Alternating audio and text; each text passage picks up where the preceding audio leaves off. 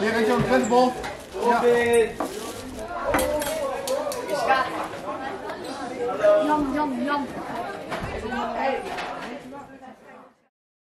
Nou, we zijn eh, onlangs begonnen na de herfstvakantie. Eh, eigenlijk leefde dit initiatief al heel lang bij ons. We merkten namelijk dat eh, ja, heel veel kinderen eigenlijk eh, s ochtends niet ontbijten. Eh, het is ook een landelijk gegeven, hè? het is niets nieuws. Kinderen ontbijten gewoon heel weinig op dit moment.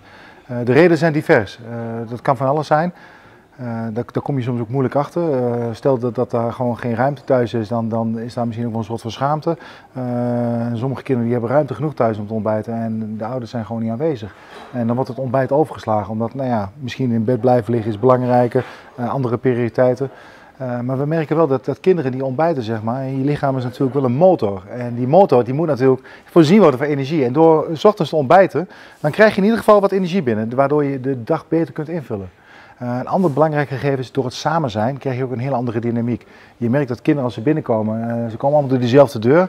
En wat er achter die deur is gebeurd, dat weet je niet. Maar ze komen allemaal op dezelfde manier binnen. En door daar ruimte voor te maken, door samen hier gezellig te ontbijten 's ochtends, van kwart over acht tot negen, dan komen ze met elkaar in gesprek. Maar ook als mentorcoach of als docent, dan zie je een leerling zeggen, hey, hoe is het met je?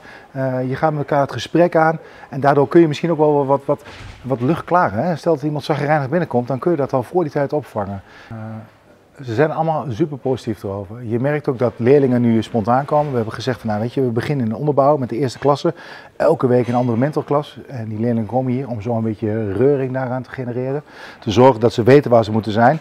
Maar goed, je ziet nu bij de tweede keer dat ook al heel veel leerlingen weten dat om kwart over acht hier op woensdagochtend het schoolontbijt is. En die komen ook gewoon.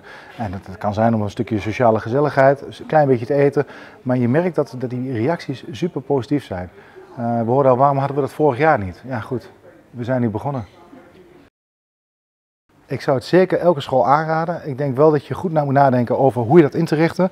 Eh, begin rustig, want het is natuurlijk een utopie om te zeggen van ja, weet je, we pakken in één keer de hele school, want dat werkt niet. Dan haal je heel veel werk naar jezelf toe, plus je krijgt heel veel drukte. Eh, bouw het rustig op, nodig eerst een aantal klassen elke week verplicht uit en langzaamaan steeds meer aandacht aan geven. Zorg ervoor dat de mentorcoaches in de les uitleggen waarom een ontbijt zo belangrijk is. En dan niet alleen, ja, je moet goed eten, want anders eh, word je niet groot, maar ook wat het doet, hè? energie, hoe die je krijgt en waardoor je denkvermogen daardoor op een positieve manier wordt gestimuleerd. En geef duidelijk aandacht aan eh, het mentale gedeelte. Door samen te zijn en samen te eten, heb je andere gesprekken.